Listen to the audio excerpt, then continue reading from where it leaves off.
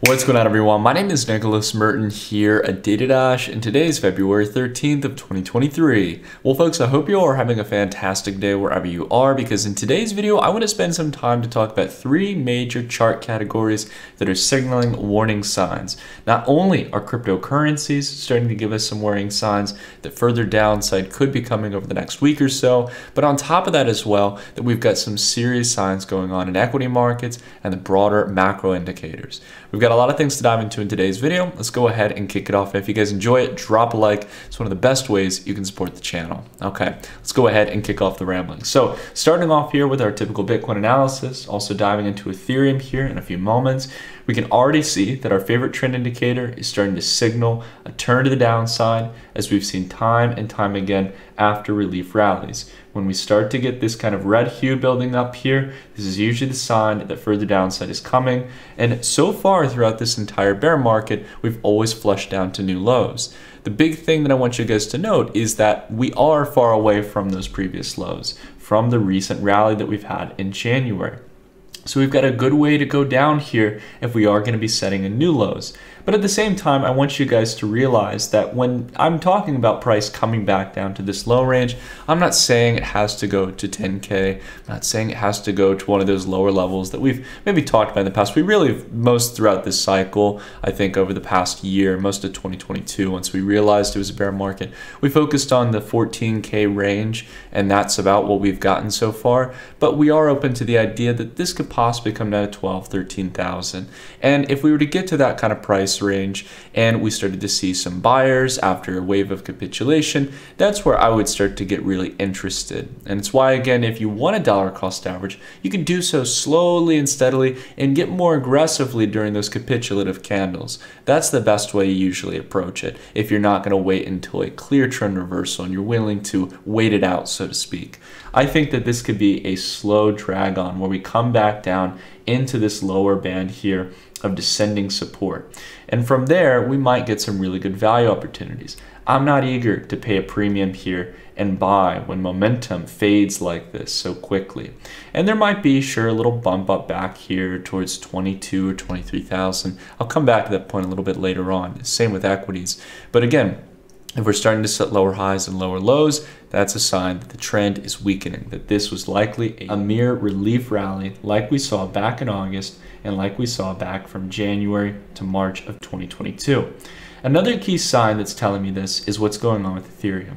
The momentum indicator for both Ethereum's dollar chart as well as its BTC chart, which is more important in my opinion, are signaling weakening signs of momentum. Since back in January, the ETH USD dollar price continued to climb up, had a good positive blue signal of momentum like we saw back in July, and that has since faded since Bitcoin started to roll over from around $1,700 down to $1,500 for Ethereum. The ETH to BTC ratio, even more concerning. Whether looking at the daily or weekly time frame, the ETH to BTC ratio, meaning ETH's performance against that of Bitcoin, is showing signs of weakness. Nothing too shocking right now, to be completely candid. Generally within the range we've been in throughout the later part of January. But we're not making higher lows and higher highs all of which would be indicative signs that risk taking is on and people are getting more confident. What's more concerning is that over the past month, since really back in early January, we've continued to move generally lower here on the ETH to BTC ratio. We've already been in what may very well be a massive distribution pattern since as far back as 2021.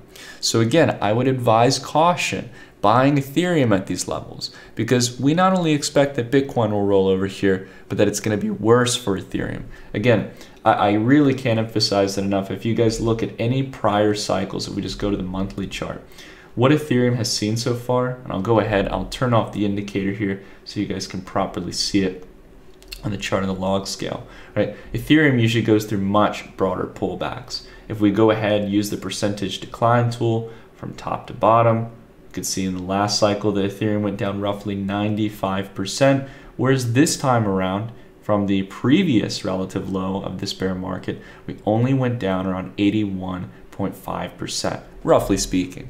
So again, as we've emphasized in the past, the difference between a say 90% correction versus an 80% from top to bottom is massive. Do not negate the difference here because if you need to simply put it into visual perspective, you can see just how much of a difference that is when you consider that the fact is that an 80% correction roughly is around a little under $1,000 for Ethereum's price. And if we were to take it to around 90%, you're talking about $467. If you take it towards the typical correction range, around 94% from the last bear market, that takes us all the way below $300 for Ethereum's price. I'm not saying that's a guarantee. I'm just saying perhaps the market's getting too confident and oh, let's just dollar cost average. Let's just buy into the leading players. Folks, this is a different type of market correction. Considering the macro environment, considering the change in liquidity flows, I have a feeling that this is not only the kind of sideways consolidation that leads towards lower price levels. I think we're heading a lot lower than many people may think for some of the more risk on plays like Ethereum which really aren't seeing any major innovative plays in the DeFi space, which for me has felt like it's been stagnated for the past year or two, even when times were still good. Same ideas circulating around time and time again. I'm looking for new market leaders. I'm not interested so much in Ethereum here. I'm interested in new plays that could disrupt it, which we'll talk a little bit about later on.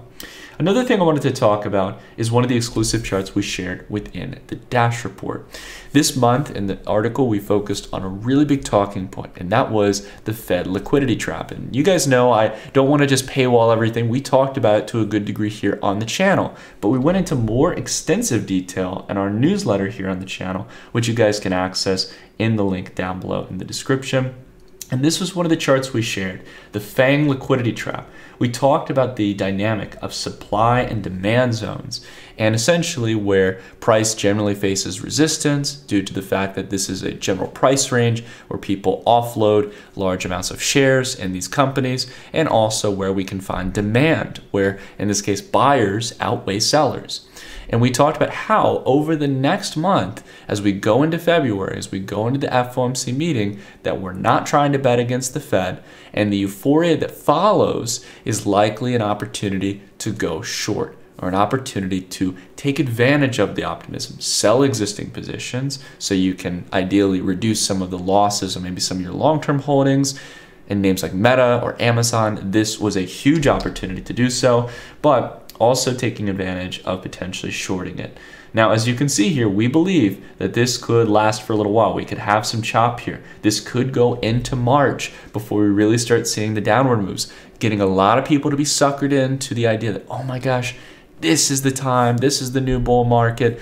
It's how it always plays out, folks. If you need to look at it, simply zoom out and see that after a quarter of price remaining within this range, like back in June and July 2018, like in January of 2020 into March of 2020, or back here between April to September of 2022.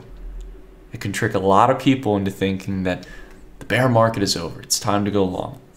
Doesn't always play out that way. In fact, it usually plays out the opposite way, taking advantage of people who are falling into the emotions uh, and believing that just simply because price is pushing sideways, that the market sell off is over we believe we're heading much lower. And if you guys want to continue to get access to these kind of really detailed charts and all types of different insights that we don't share here on the channel, you guys can check out the DashReport. It's a great way to support the channel. You guys can get a major discount signing up for an annual subscription, and you also get access to some of our leading indicators here that we utilize to spot momentum.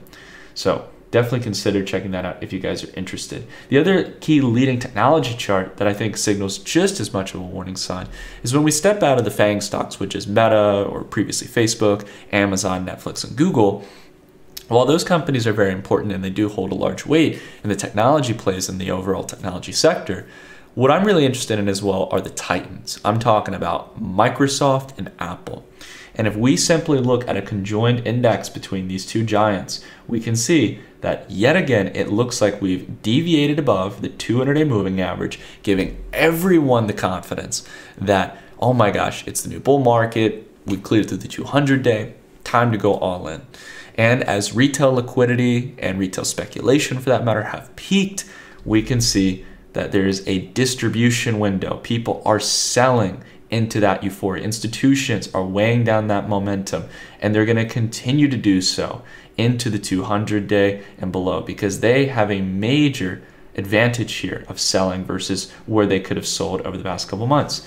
They've likely, if you're talking about the institutional traders, been buying exactly when everyone is planning to short. And that's always when we come near the 200 week because everyone's extremely bearish when we get there and everyone's extremely euphoric. And it's time to take advantage yet again of the emotional crap. Haven't we been here before? Chart says so. The chart tells us that this is the typical relief rally where we deviated below the 200 day, we come back above it, everyone's excited, and then sooner or later, I'm not going to say it's going to be today or tomorrow, right? But generally speaking, in the next week or two, we're probably going to go right back down below that 200 day. And every single time we go below that 200 day, we set in new lows. And last time, we were barely holding on by a thread to that 200 week. Now it looks like we're going to be going below the 200 week this time around. We might finally get the real recessionary flush. And who knows? If you again are not so confident that we're going to get such a bad sell-off, then you know at least wait until we come down into that 200 week, right? And buy where as we can see where we saw investors buying last time, right? Again, I can't give you guys direct financial advice, but again, at a minimum, if you believe that that range is where price is going to bottom out because we had three retests there, that's fine. I would at least recommend just waiting for that there, or at least dollar cost averaging more aggressively when there are those signs of capitulation, when everyone is considering going short and that the market is broken. That's when it's time to do the opposite usually. But again, these names, I want to make it very clear while they are cash rich tech giants, they may not be the safe plays they used to be. Last but not least, I want to go ahead and talk about our three macro indicators the dollar index, the VIX, and the US Treasury yield for the two year note. Let's just go ahead and take a look at these guys because they are continuing to move higher. We've got blue flips here on momentum. I want to see a couple more days of confirmation before I get too confident of that. But we came into the five year long increasing line of volatility support. Again, just taking a look at the uh, not so much price action, but the VIX over time continuing to set in these higher bases, continuing to hold up here in the month of February of 2023. The US two year yield on the daily has held its longest blue rotation, right? Since really back here in December. And it's looking like it's got the confidence to have the longest blue streak momentum here on our key momentum indicator since back on the start of August. This is again a likely sign that the Fed is going to continue the tightening, that the market has overpriced the easing that the Federal Reserve is going to do. When in reality, the Fed could continue to increase by 25 basis points time and time again until the job is done. And that the target rate is much higher than previously expected. Outside of that as well, the dollar index having its longest blue flip since back uh, in the period of August of 2020. Again, similar signs here. People have oversold the dollar here on expectations that the Fed is going to alleviate and that other central banks are going to catch up. I gotta tell you guys, I think those people who think that way have got another thing coming. The Federal Reserve still has a job to do. Inflation is not done, it is sticky, it can come back within a month's notice, and we are already starting to see that within the car market. We're seeing that with properties still remaining relatively elevated, and we're still seeing it in regards to actual commodity prices. Take a look at some of the commodities that no one's watching. Some of the ones we watched back a couple videos ago, and you'll see not just gold and silver have been on a rally. You'll see that a whole range of energy commodities are starting to slow in their selling pace, but on top of that, everyday commodities like wheat, soy, all types of things like lumber are really starting to see a kick up. Copper as well holding up relatively strong. And commodities moving higher means a stronger dollar here. It's going to mean the dollar is going to outpace other currencies as the Fed has to continue contracting and tightening liquidity, and therefore constricting the available supply of dollars on the open market, driving the dollar index or Dixie even higher. It's the name of the game, folks, and we have to know when that momentum signal is switching and be able to trade with the trend, i.e., to be long the dollar, to be long commodities, and short the broader asset markets if we are to take any positions. But it always makes sense as well to potentially be in cash and wait out for some of the big opportunities. And that's what I want to spend some time to talk about during today's sponsored news mention, which is about our partner Radix DLT. Now, if you guys haven't been following Radix, it's one of the long-term projects we've been tracking. I've been following Radix as far back as 2018. They would have been one of our long-term partners over the past, uh, really, I think last year and a half here on the channel. It's amazing how fast time has flown. But Radix is an incredibly exciting layer one protocol in the crypto space. One of the few projects that I'm genuinely interested in in the event that we're going into the next bull market in the coming years because of how radically different Radix is in its approach to building a layer one built specifically for decentralized finance, not only to scale, but also to scale in regards to the network of developers, the types of applications that can be built. And I really want to talk about how you guys can get involved in potentially becoming a developer in the Radix ecosystem. Now, Radix has a native programming language called Scrypto. And to just kind of send a signal here as to how valuable Scrypto is as a language, I'm going to put it this way. There are two leading software innovations that have me genuinely excited going into 2023, even with all of the negative macro sentiment. One of them obviously being ChatGPT, leading the way forward for OpenAI in the space of artificial intelligence and changing the way we live our daily lives. But on top of that, Scrypto, the native programming language of the Radix network, it's right up there with ChatGPT because I'm very passionate about crypto, but I really have looked hard to find opportunities that have the availability to completely disrupt the crypto space. And the only one out there that has me excited is Scrypto being completely blunt with you guys, if you haven't tried messing around with Scrypto yet, you may be missing out on one of the biggest disruptive opportunities in the cryptocurrency industry in the last decade. And the reason why is because while everyone is still learning Solidity, trying to build within the complex developer environment of Ethereum, where you can continuously trip up by having smart contract exploits, not being able to audit 10,000 lines of code to do a set of simple functions that could be reduced into just a couple hundred lines of code on the Radix network, that is what's causing a lot of the friction point for people getting into development. Not to mention the languages themselves are much more difficult to get started with. And that's why Radix is so beneficial. There's all types of different powerful things. The fact that Scrypto as a language is asset oriented, it's based on a popular language, Rust, which a lot of developers are starting to pick up and has a lot of market value. And on top of that, you can actually monetize directly on top of the blueprints or code that you're creating.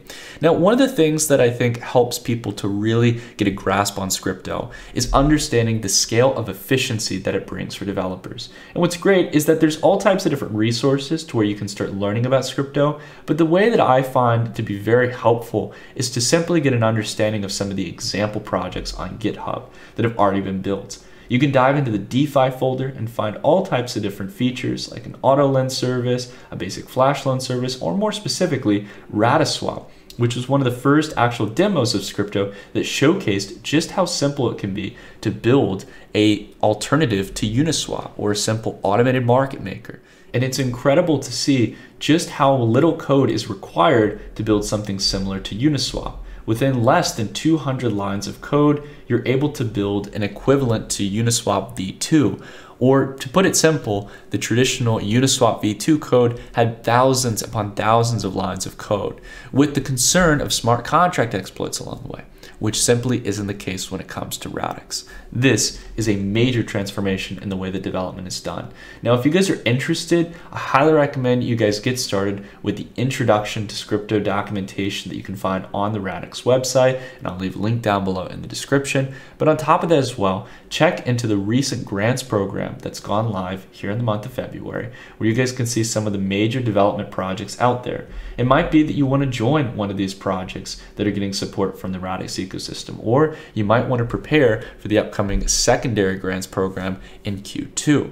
There's lots of ways to get involved, ways to not only get financial support, but get the resources you need and the guidance to actually build a successful and valuable protocol in the Radix ecosystem. Again, Scrypto, and ChatGPT. Those are the two things that I'm interested in right now. If you guys aren't getting tapped into how to use these technologies, you may be missing a really big opportunity. They're things that even as myself, I'm not a programmer by heart. I've done some data analytics and a little bit of data science back in the day, but I'm really not good with programming languages. And I think that this is a period of time where learning how to utilize exciting languages like Scrypto to build valuable applications or using ChatGPT to act as an efficient assistant in whatever you're doing, whether it's development or writing, is going to give you leaps and bounds of advantages in the workspace and in the overall economy versus other peers. It's very, very important to keep ahead of the curve when it comes to innovation. But that being said, everyone, that's it for today's video. If you guys enjoyed it, consider dropping a like, consider subscribing if you haven't already, and hitting the bell icon so you don't miss another video here on the channel. But that being said, everyone, have a wonderful rest of your day, and I'll see you all in the next one. Take care, everyone.